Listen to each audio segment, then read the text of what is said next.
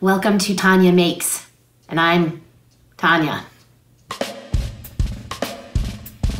Today I'm doing some baking because it's spring and I wanted cake and baking sounded really good. So I was thinking of um, spring creatures. And of course the lamb cake came to mind, but everybody makes lamb cake. We don't need more lambs. No, what I thought I would make today would be the beaver cake. Because what says spring more than beavers? Okay, so this is pretty easy. I just made um, three little mini cakes. Look at how cute this are. This is so cute. And now I'm gonna stack them up. I've got one. Oh my gosh, actually this looks like a giant burger.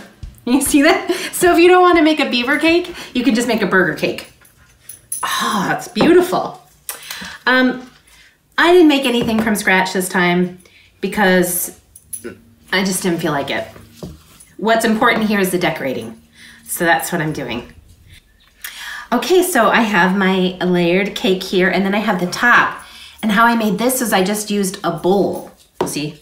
And just put it in there. And this is, is gonna be the top of the beaver head. is really cute.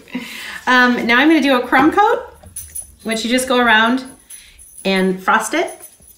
And uh, then I'm gonna put hair on it. Not actual hair, right, so I've got it frosted. Looks great. Um, I'm gonna be honest with you. I just, I ran out of frosting. So this side is not frosted, but it's all about perspective, right? Don't show people this side and they'll never know. So I've got my beaver base and now I need to make, um, put some hair on it. Or fur. I mean, a, be a beaver has fur. I'm just gonna put fur on it and try to make it look hairy but edible because you don't want to really eat hair.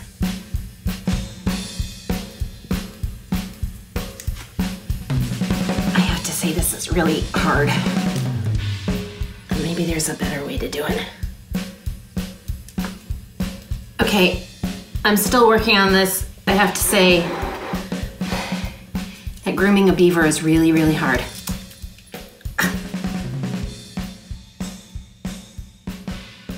I've got my beaver fur.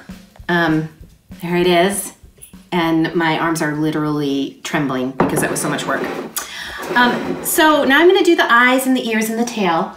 And my philosophy when decorating a cake is to do as little work as possible. So I used to have my kids decorate their own birthday cakes, which they thought was the best idea ever. But they didn't know that I was tricking them so that I didn't do it. So I don't know if this is gonna work, but I have the idea. I just cut some marshmallows and I'm just gonna put them on here as little eyes. Look at that. Look at that. Um, they need a black dot in there though. So I'm just gonna put a little chocolate on there and we're gonna see. Oh, instant eyes. Look at that. Now, what's important about a beaver? A beaver tail and the teeth. Let's see. Does that look like a beaver? I won't put those on the cake because that would be gross. So I'm gonna put teeth on there. It's looking really good. Um, and I'm gonna make a beaver tail, but instead of like actually making a beaver tail, I'm just gonna use chocolate. See, look at this. It's got it's got ridges on it and everything, and then I'm just gonna cut. Oh my gosh, look at this. My gosh, it's a beaver tail. So I'm gonna make this work and I'm gonna make some ears and we're gonna see how this all works out. So I've got my eyes, I've got my buck teeth, I've got my beaver tail, I've got beaver ears, and you know what else it needs? Cheeks. These are apricots because this is what I have on hand. Oh my gosh, it's so cute.